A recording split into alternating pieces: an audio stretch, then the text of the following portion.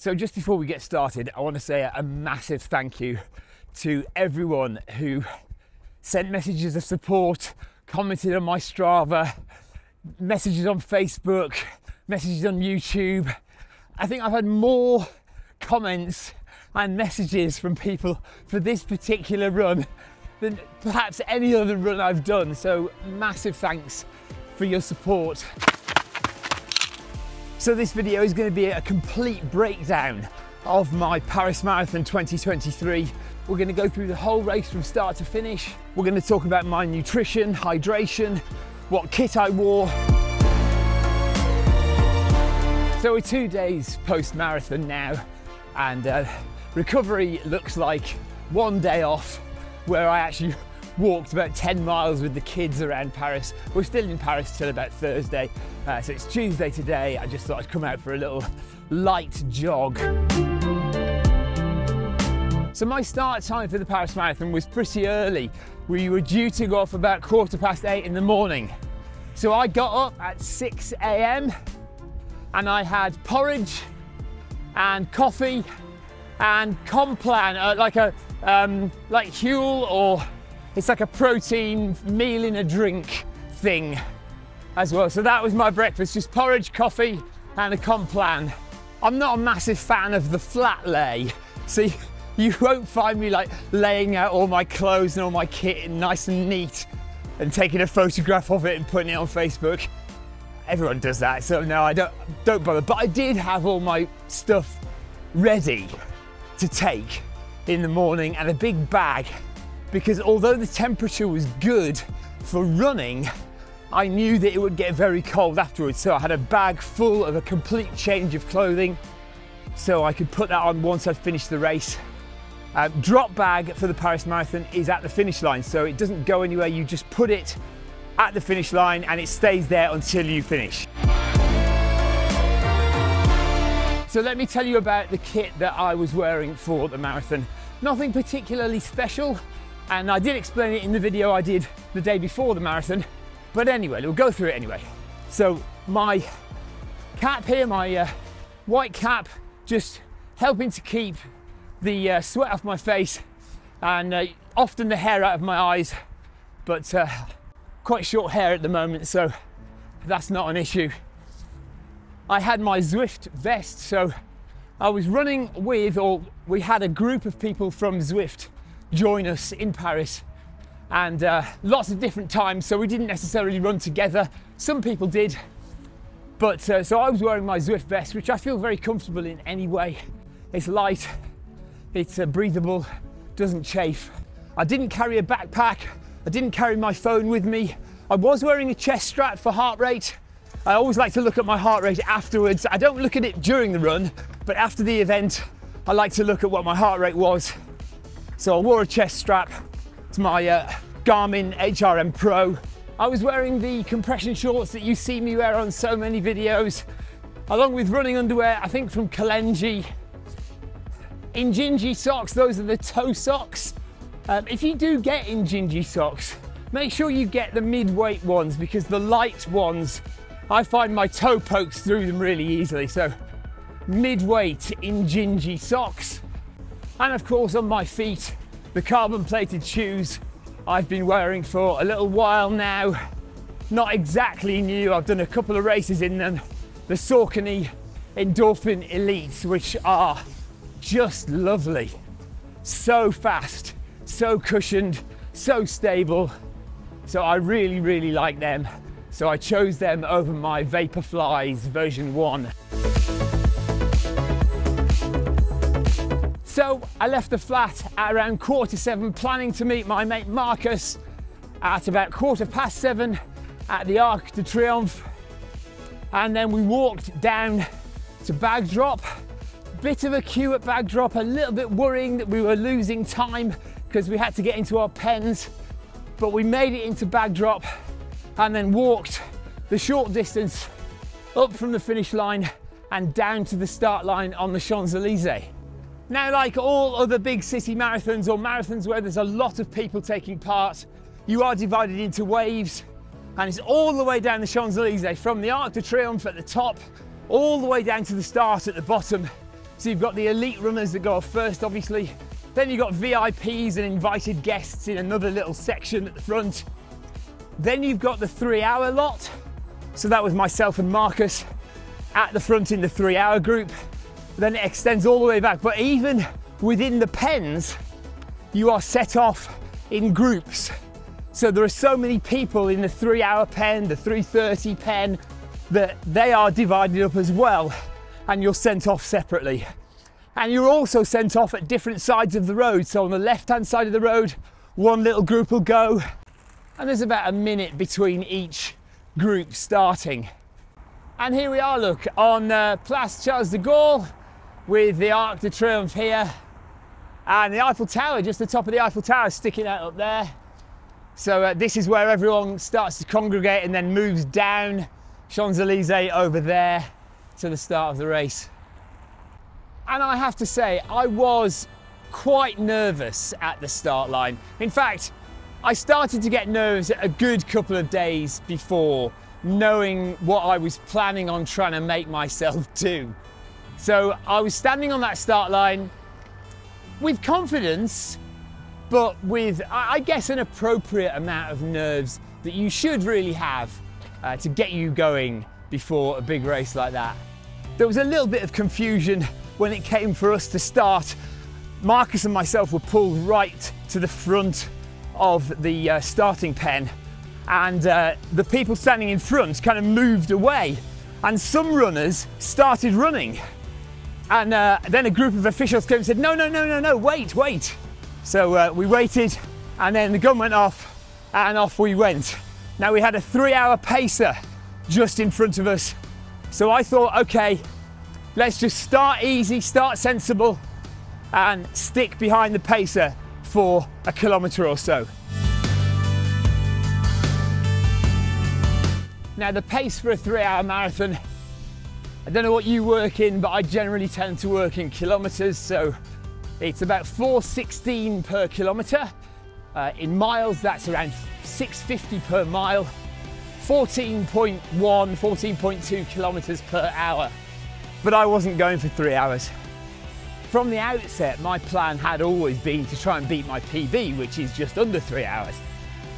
But then a few weeks ago, having chatted to a few different people, my goal changed to try and get 255.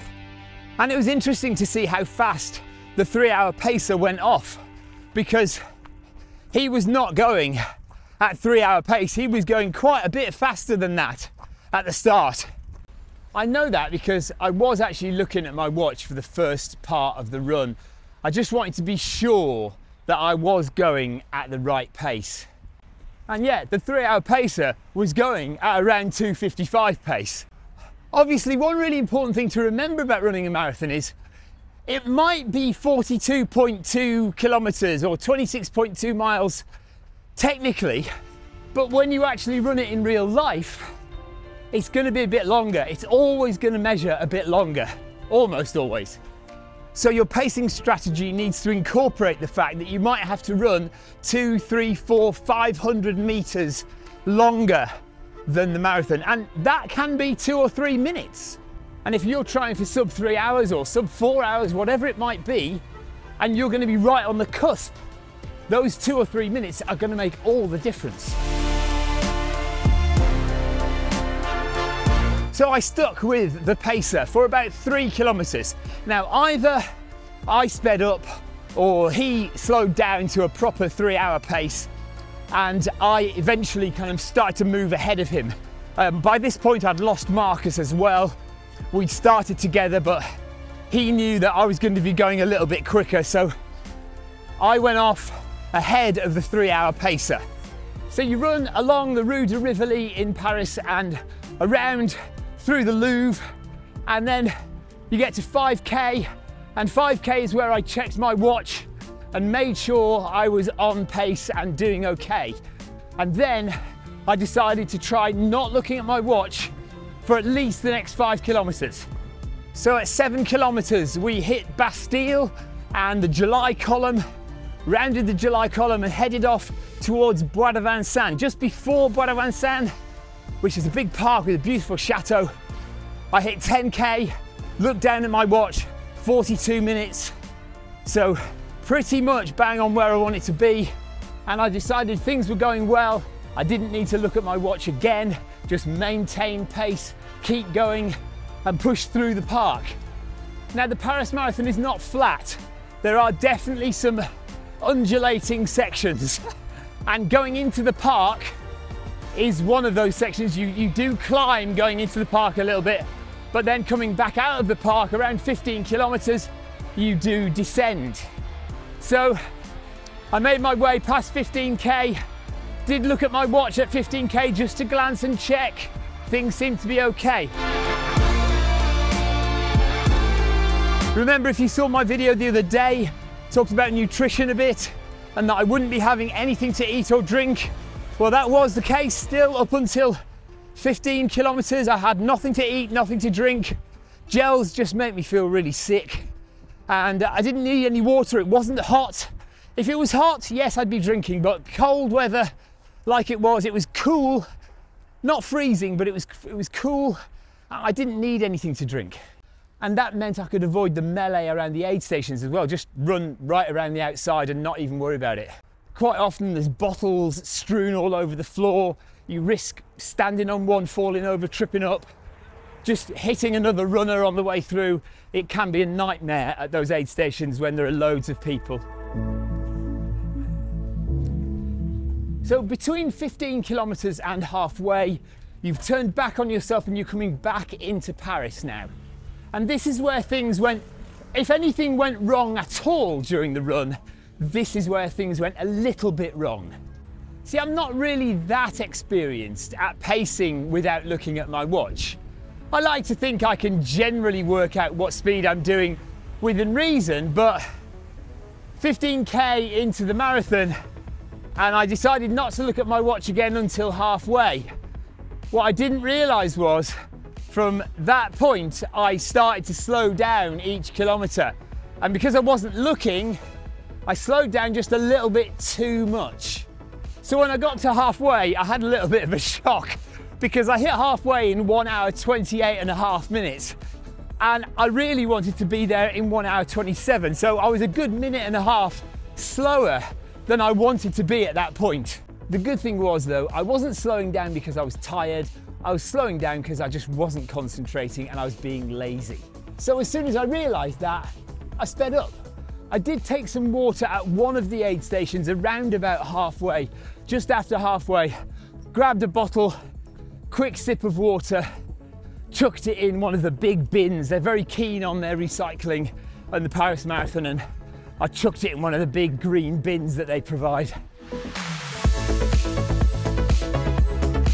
So we've come back into the city now, getting on for 25 kilometres, and we drop down to the banks of the River Seine and run along the Seine for the next few kilometres.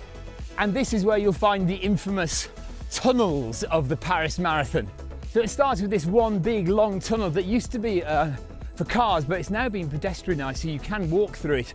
But obviously it's closed anyway for the Paris Marathon, so it's about a kilometre or so long, and there's a little climb out of that tunnel. And then you've got three other shorter tunnels, all of which have a steep little climb out of them. And on tired legs, if you are knackered at the end of the Paris Marathon, those climbs are awful to do, really horrible. So I hit 30 kilometers, feeling great actually, feeling really good.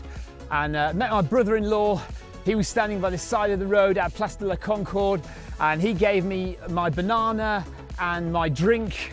Uh, Purdey's, I don't know if you've heard of Purdey's, but it's a very nice fizzy drink. And uh, I had some of that. I didn't eat all of the banana, about half the banana, and uh, you know, a few sips of the fizzy drink, but I didn't need all of it. Honestly, my confidence was so high at this point because I, I was on time. I knew I was going to be under three hours as long as I kept pace and I didn't feel like I was going to drop my pace. So you know that feeling sometimes when you get to around about 20 miles in and everything just go, you, you can feel yourself slowing down. You can feel the energy drain from your legs. You can feel your head go.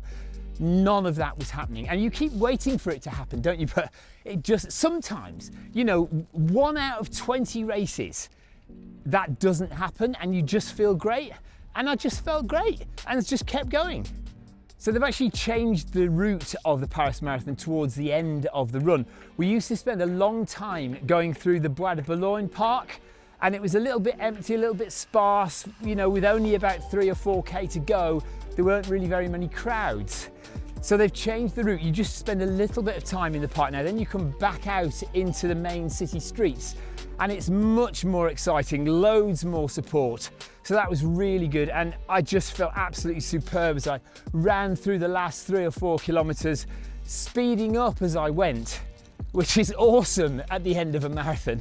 Although I certainly know one person who'd say I shouldn't be speeding up at the end of the marathon. You should be so spent, you should have run so hard that you can't possibly speed up at the end of your marathon.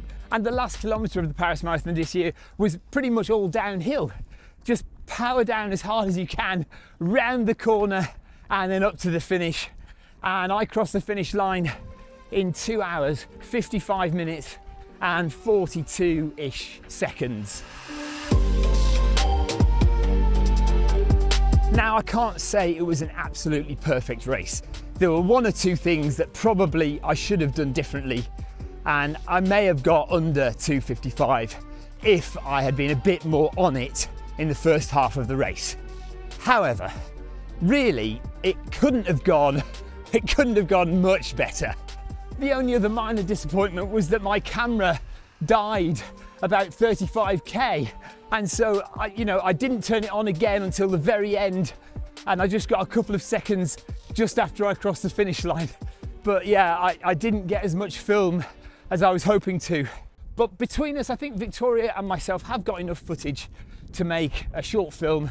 So uh, the Paris Marathon film will be out in a few days time hopefully.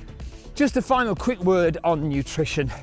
Look you know Okay, most people take gels when they run a marathon. And is that because everybody else takes gels? Is that because that's what the advertising tells you you should do? I don't know.